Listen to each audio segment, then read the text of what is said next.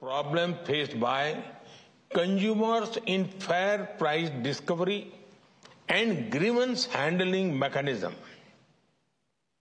Excellencies, India believes in a rule-based, open, inclusive, multilateral trading system with the WTO at its core.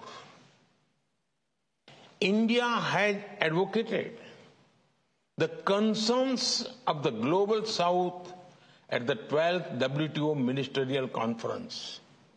We were able to forge consensus on safeguarding the interests of millions of farmers and small businesses. We must pay more attention to MSMEs, given their key role in the global economy.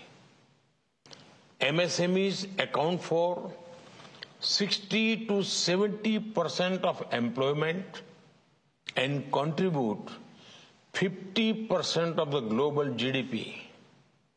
They need our continued support. Their empowerment translates to societal empowerment.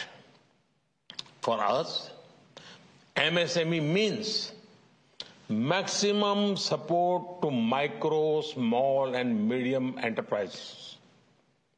India had integrated MSMEs into public procurement through our online platform, Government e-Marketplace.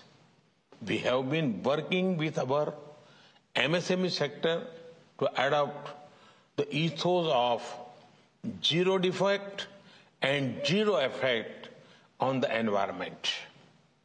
Increasing their participation in global trade and global value chains has been a priority of the Indian presidency.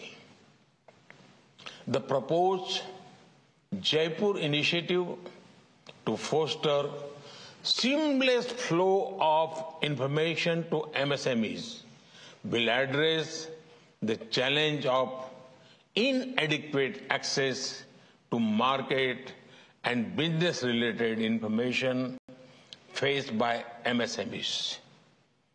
I am also confident that the upgrade of the global trade help desk will increase participation of MSMEs in global trade. Excellencies, it is our collective responsibility as one family to restore confidence. Well, that is the Prime Minister making an address at the BRICS summit uh, in Johannesburg, where he has stressed upon a multilateral trading system and how the MSME needs to be empowered as it uh, accounts for 60 to 70 percent employment. He also goes on to say that this, uh, there's a need to safeguard the interest of the farmers and the small traders in an overhaul integration of uh, trading systems.